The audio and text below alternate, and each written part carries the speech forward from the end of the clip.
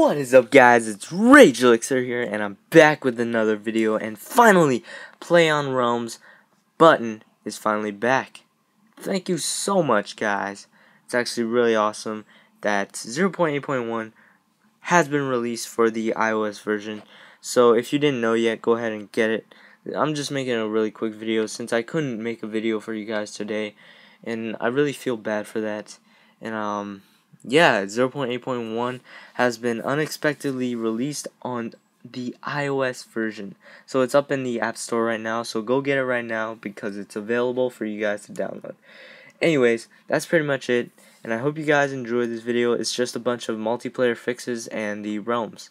So, thank you guys for watching. Version 0.8.1 alpha has been released for the iOS version in the App Store. Goodbye.